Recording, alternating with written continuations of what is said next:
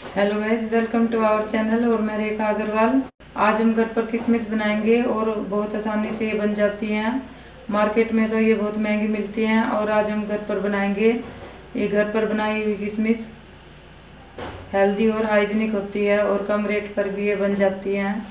तो वीडियो को शुरू करने से पहले अगर आप मेरे चैनल पर नए हैं तो आप मेरे चैनल को सब्सक्राइब कर लें और बेल के बटन को भी दबा दें ताकि आने वाली वीडियोस की नोटिफिकेशन आपको सबसे पहले मिल जाए। ये देखिए गाइज़ आधा किलो मैंने ये पीले वाले अंगूर ले लिए हैं। तो इनको हम डंठल से अलग कर लेंगे।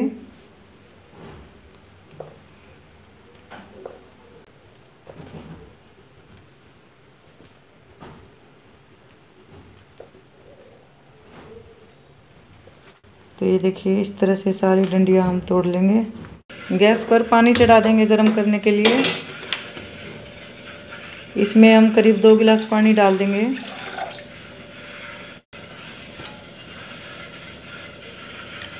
पानी में हम दो चम्मच चीनी डाल देंगे। ये बड़ी दो चम्मच चीनी है। अगर छोटी चम्मच है तो तीन चम्मच डाल देंगे। इससे हमारी किशमिश मीठी बन जाएँगी, खट्टी मीठी और बाज़ार जैसी बनेगी। तो इसको उबाल कर चीनी को मिक्स कर लेते हैं। उसके बाद हम इसमें अंगूर डालेंगे।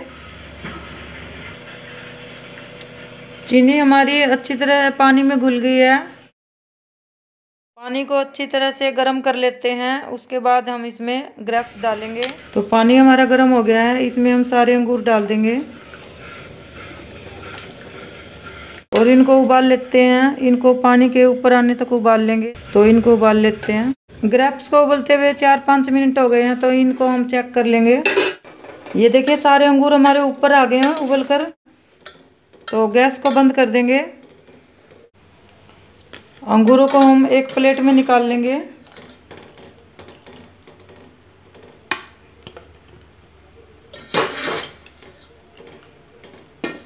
ये देखिए, प्लेट में निकाल लिए हैं सारे और अंगूर हमारे सॉफ्ट हो गए हैं एकदम। इनको अब हम सुखा लेंगे। इनको हम धूप में भी सुखा सकते हैं और छाया में भी सुखा सकते हैं तो इनको हम छाया में सुखाएँगे तो थोड़ा टाइम ज़्यादा लगेगा तो हम कैसे भी इनको सुखा सकते हैं। और ये देखिएगा इस कुछ अंगूर क्रैक भी हो गए हैं तो इनकी भी हम दाखी बनाएँगे, ख़राब नहीं जाएँगे। तो इनको मैं सूखने के लिए रख देती हूँ। तो गाइज़ हमने जो किशमिश बनाई थी, इनको आज दूसरा दिन है और ये देखिए, सूखनी शुरू हो गई हैं। ये देखिए गाइज़ इसी तरह से ये सूखती जाएँगी और धीरे धीरे इनकी किशमिश बन जाएगी। इसने किशमिश की शेप ले लिया है और ये देखिए बननी स्टार्ट हो गई है। और धूप में हम ऐसी जगह पे रखेंगे इन्हें कि जहाँ पे मिट्टी ना हो। तो इनको अब हम और सुखा लेंगे। उसके बाद मैं आपको दिखाऊँगी। ये देखिए गाइस तीन दिन हमने किशमिश को सुखा लिया था। और ये अच्छी तरह सूख गई हैं, ये देखिए, और कितनी बढ़िया किशमिश हमारी बन गई हैं, बिल्कुल बाज़ार जैसी। तो गैज ये देखिए, आप भी घर पर हेल्दी और हाइजीनिक किशमिश बना सकते हैं।